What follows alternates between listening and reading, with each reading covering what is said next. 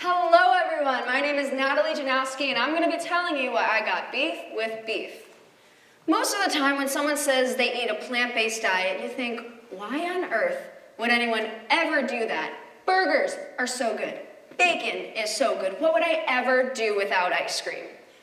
Our entire life, we've been told by our doctors that we need meat for protein and milk for calcium to grow strong and tall. And I'm here today to tell you that that's not completely true. You may be able to get all your protein, vitamins, and minerals from plants. They have virtually everything you need to grow strong and tall. Look at this bacon cheeseburger.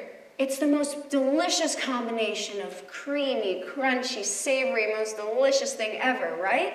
Yeah, right, but you know what else it has? 225 milligrams of cholesterol, 1800 milligrams of sodium, which is 75% of what you need in a day. It also has a whopping 950 calories and 60 grams of fat. That is more than half of what your body should be ingesting daily, all in this single burger. Now, when I said before that there's 60 grams of fat in that single burger, 22 of them were saturated fat. Now let me tell you why saturated fat is one of the worst things you can have in great quantities. Fats are made out of fatty acids, and the only difference between saturated and unsaturated fat is their carbon formation shape. You see, saturated fat is more straight, while unsaturated fat has a tink in it. This allows the saturated fat to clump together more easily, so over time, the saturated fat that gets into your bloodstream can clot in your arteries in your heart, and then it can lead to blockage or even a heart attack. You don't notice this in the short term, but over one's entire lifetime, all of this saturated fat can, these tiny, tiny molecules can lead to a huge disaster. This is what it looks like. According to the World Economic Forum, Turkmenistan and Kazakhstan have the highest rate of heart disease in the world. Their diet revolves mostly around meat and dairy products. On the other hand, the UN says that Japan has the lowest, has one of the lowest rates of heart disease in the world. Now their diet is completely the opposite. They revolve around um, fresh seasonal foods such as rice, noodles, fruits, vegetables, and poultry. These are clear examples of the effect of animal protein on our bodies. Let's look at this chart. Cardiovascular disease is the leading cause of death in the world. If this is such an issue, and if there's so much evidence supporting the fact that strong meat eating is directly correlated with cardiovascular disease, how come it's so encouraged by our doctors and medical authorities?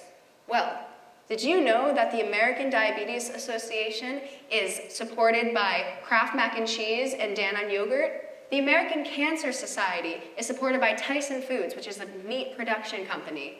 Susan G. Komen Foundation, supported by Yoplait, KFC, and the American Heart Association is supported by Tyson Foods, Subway, Kraft Mac and Cheese, and all of these other meat-based products.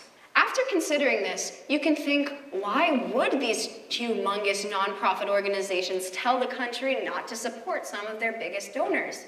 Well, it's pretty clear they would lose all their donations. In the end, at the end of it, they are nonprofit organizations and they need money to stay alive, so they'll do whatever it takes to stay alive, even if it risks ours. Who here loves fast food?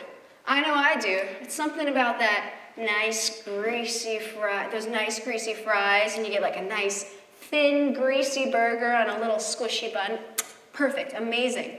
You know what I don't love about fast food though? It's one of the biggest reasons that meat has become such an overconsumed good in America. Look at this. This is the price of an average fast food burger compared to the price of an average salad. This burger is a fifth of the price of this salad, so obviously someone's going to choose the cheaper option. But my question is, how did these burgers get so cheap? When I think of it, I would think that a cow is worth more than a piece of lettuce. Did you know that each year, $38 billion is given by the US government to subsidize meat and dairy industries? Only 0.04% of that, so only $17 million is given each year to subsidize fruits and vegetables. That is why the meat is so much cheaper than all of this produce. In 2018, the US beef consumption was four times higher than the world's average. That's whack. That's crazy.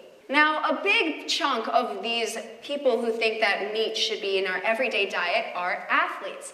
Athletes have this misconception that they have to eat so much more meat than the average person so that they can have enough protein to rebuild their muscles. And yes, that is true. Athletes do need more protein, but animal protein might not be the best place to get it.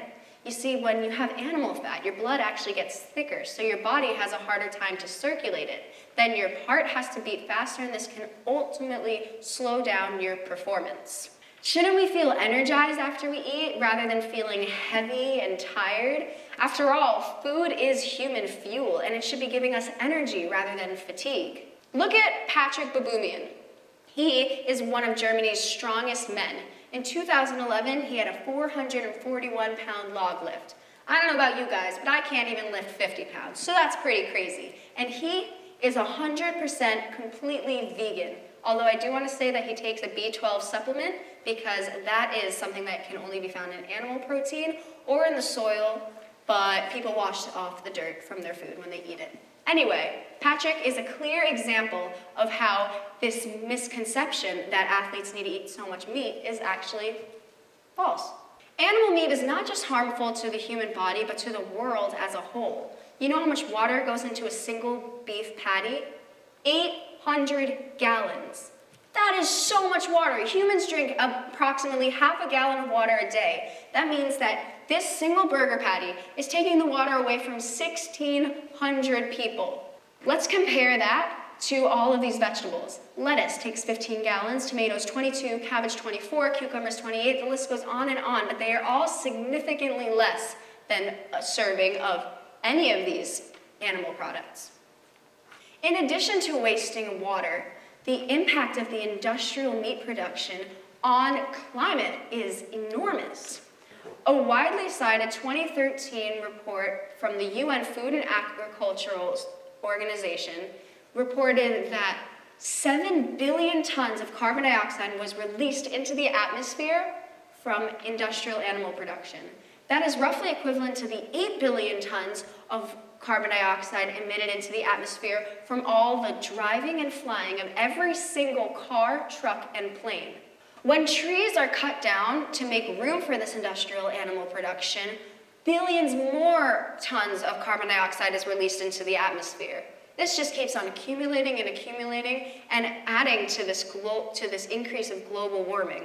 Now, we have the Elon Musks of the world trying to help our environment in the future by moving away from fossil fuels, but what about simply taking meat out of the human diet? I'm not saying completely, everything is okay in moderation, but think of the impact that eating less meat can have on the entire world as a whole, bringing down climate, saving tons of water. Imagine what it could do for your body. You wouldn't have to rely on medication and surgeries to keep your heart pumping when you're older.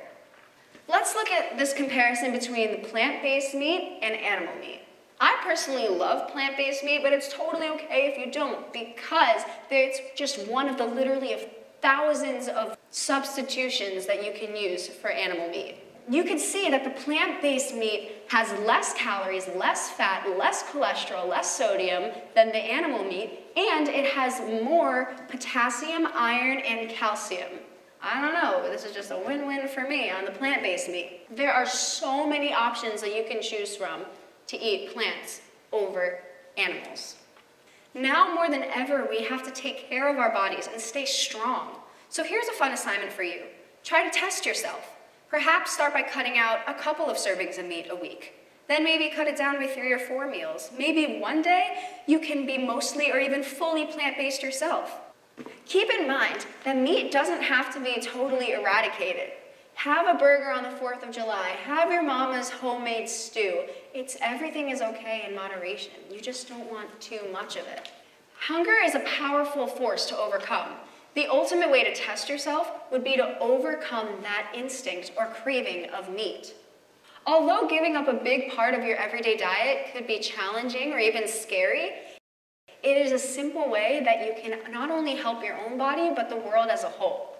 Now, I could easily get started on fish and poultry, but I think I'll save that for next time. Thank you so much.